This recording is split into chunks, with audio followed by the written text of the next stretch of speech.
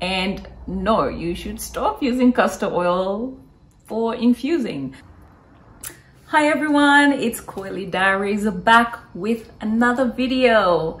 Today I am talking about my favorite penetrating oils, but also delving into the research of what penetrating oils are. But also I will be sharing with you some oils that seal the hair. Um, and I'm doing this video because I wish I knew this earlier, but yeah, not every oil can be used for everything. And as I am learning about my hair a little bit more, it's low porosity.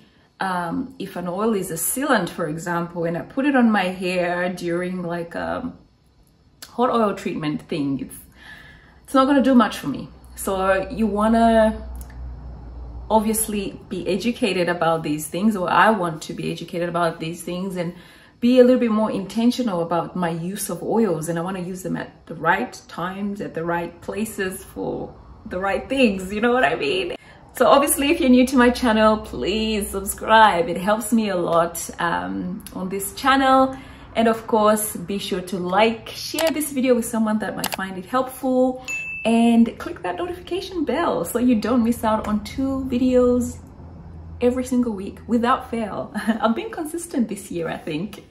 And I've got a whole lot of videos lined up that yeah, it will be consistent at least for the foreseeable future. So that's so exciting. Um, another thing is that if you want to contribute to this channel, be sure to do so. I will be more than grateful if you can do that. However, if you can't, your presence here is more than enough for me. Without further ado, let's get into this video.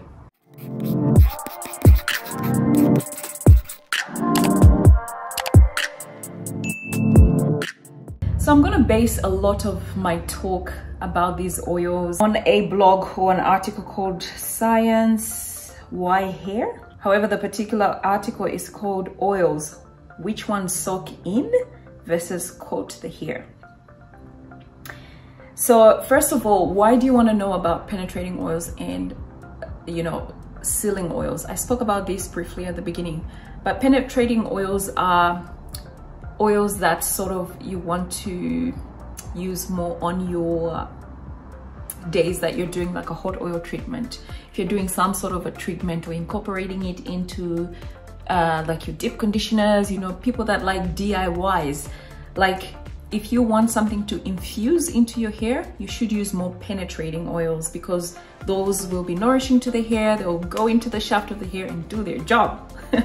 and of course, we know that oils have got so many benefits. And this video is not about the benefits of the oils, it's I'm just gonna talk about, you know, which ones are penetrating and which ones are sealants. And speaking of sealants, obviously, if you've got more sealing oils, you want to use them obviously to seal the hair, to coat the hair, to sort of you know, lock in moisture kind of thing. So that's the different uses of, of these types of oils. There are oils that can sort of interlock just depending on the properties of the oil. Uh, and a good example of that oil is avocado oil. It's a penetrating oil, but it's a little bit on the heavier side. So it can do both, can penetrate, but also can be used as a sealant and you can combine certain oils etc to see what works best for you. However this video is sort of just to give you an idea of what you should be using. Say for instance for a hot oil treatment or DIYs um, oil infusions etc versus what you should be using to seal the hair. And no you should stop using castor oil for infusing. Um, I don't think there's a lot of research around castor oil, but I think we can all agree that it's probably one of the thickest oils out there and it's probably more on the sealant side of things. Um, that's just from what I've seen. I use it as a sealant. I know people use it on the scalp to grow hair and I have as well in the past. However, I'm leaning more towards lighter oils now because I'm finding that my scalp likes to breathe. Um, lighter oils, work better for me because I like to spritz my hair, my uh, scalp a little bit with water and you know, the lighter the oil, the easier I can re-moisturize sort of thing. I'm not saying don't use castor oil or whatever on your scalp or on your hair, but I'm sort of saying like if you want something that's really going to infuse, castor oil is not the oil. You might want to try use something like avocado or other oils that I will discuss in this video. So just going from this article, there's a whole lot of information in this article on, you know, what particular oils will do for you. For example, it talks about how low porosity hair may do better with blends of um, penetrating oils. However, what I want to put bring our focus to is this table. This table sort of lists all sorts of oils and their percentages of, you know, penetrating into the hair and also if the penetration improves with heat, which is an interesting thing. Because um, you will know that if you want to infuse like a herbal hot oil treatment, you can pick oils that are not only penetrating, but also that have been shown to penetrate better with heat. You know, that's a really good thing to know.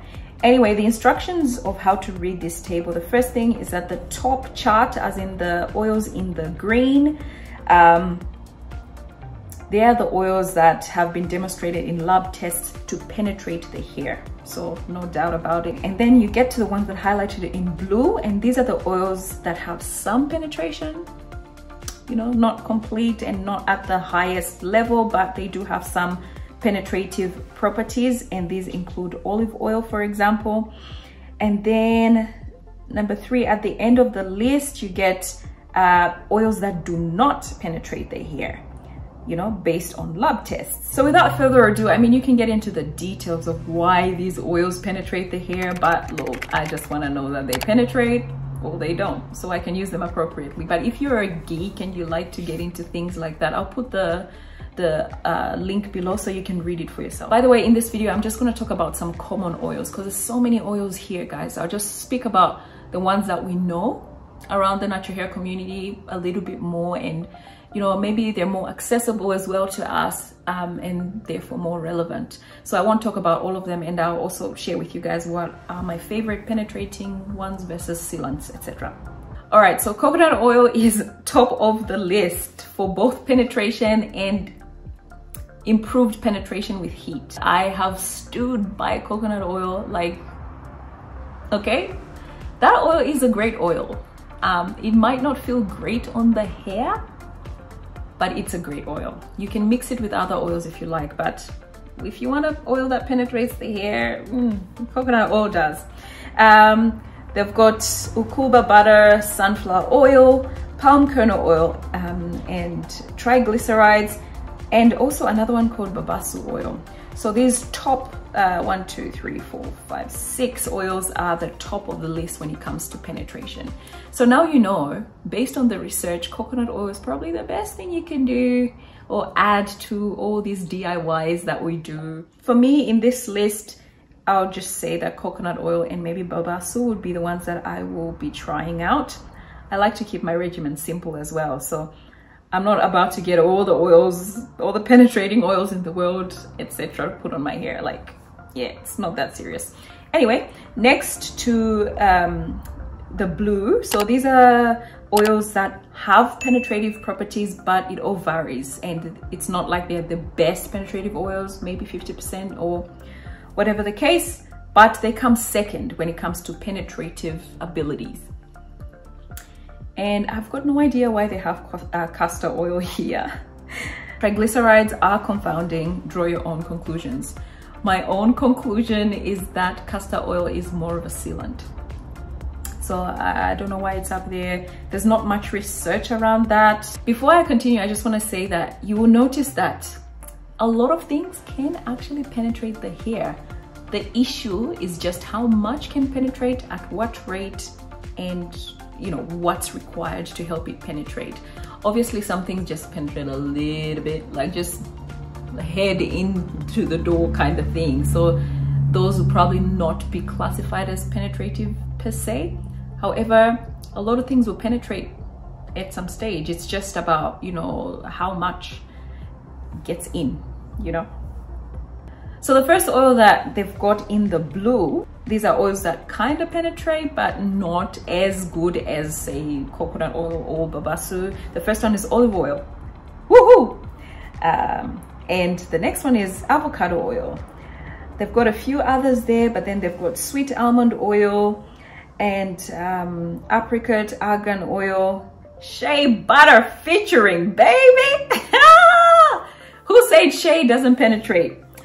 um, yeah, it's not documented whether heat improves the penetration of shea butter, but it looks like it does penetrate to, to a certain extent. By the way, this list in the blue, um, it's going down in progression. So from the top, the top one, as in olive oil, is the most penetrative and the cocoa butter at the bottom is the least penetrative. So you can see the shea is kind of in the middle there. So, you know, people that do DIYs and do their deep conditioning masks and whatnot, you know, shea will penetrate to a certain level. Like, yeah. But then they've got grapeseed oil, penetrates a little bit, you know, not too much, but you know, it's it's down the list. So I think grapeseed oil is probably not that penetrative. But they have got hemp seed oil and also cocoa butter at the very bottom. So cocoa butter, don't expect it to penetrate too much.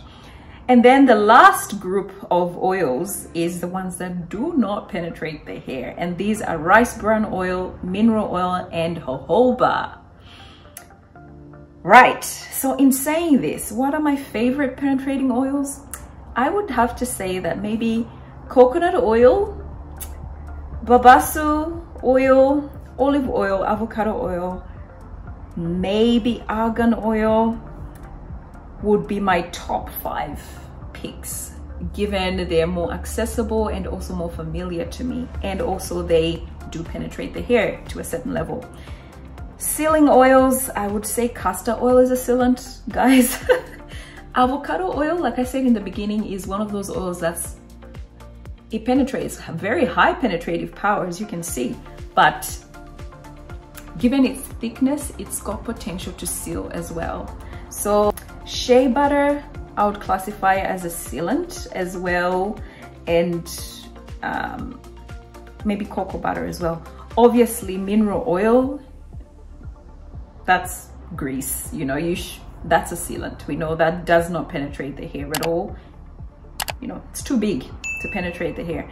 Um, and jojoba oil, it's strange that jojoba doesn't actually penetrate the hair. I wonder, yeah, that's really interesting. Um, because it's a very light oil, I guess, you know, you kind of assume that it will penetrate the hair and scalp, but it's not. So that one is, uh, is an interesting discovery for me.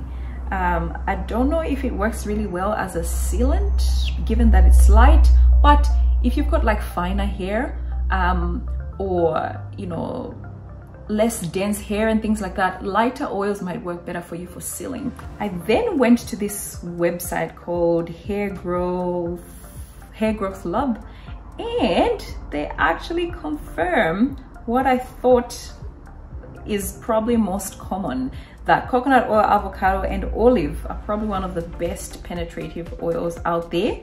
And then when it comes to sealants you have got black Jamaican castor oil or any castor oil. And then jojoba oil did feature and grapeseed oil. So in conclusion, for penetration, I would focus on argan oil, coconut oil, olive oil, avocado oil, and babassu. For sealing the hair, I would focus a lot on jojoba oil, um, avocado oil again, castor oil, shea butter, and grapeseed oil. So I've given you five options for both penetrating and sealing the hair. And some of these oils sort of do both. You know, like the uh, avocado oil does both and shea butter also has some penetrative properties here and there. So that is that. So next time before you do a DIY, you might want to hold off on the sealing oils and use more penetrative oils. And if you want to do a scalp massage, you might want to go on a more lighter oil, more penetrative oil. Um, if you want to do like a incorporate oils in your deep conditioning, you might want to try more the penetrative oils. Uh, to really get that full nourishment, guys. It's really important. And then if you want to seal in moisture, then you lean towards sealants. And of course, grease. How did I leave grease? Mineral oil, it's a sealant, absolute bomb best sealant out there. So if you really want locked in moisture, especially if you are high porosity, the cuticle is very much open. So to close it and stop that moisture from escaping, use grease. All right, guys, I hope you enjoyed this video. Hope you learned one or two things. Be sure to subscribe, click that notification bell, and I will see you in the next video. Bye.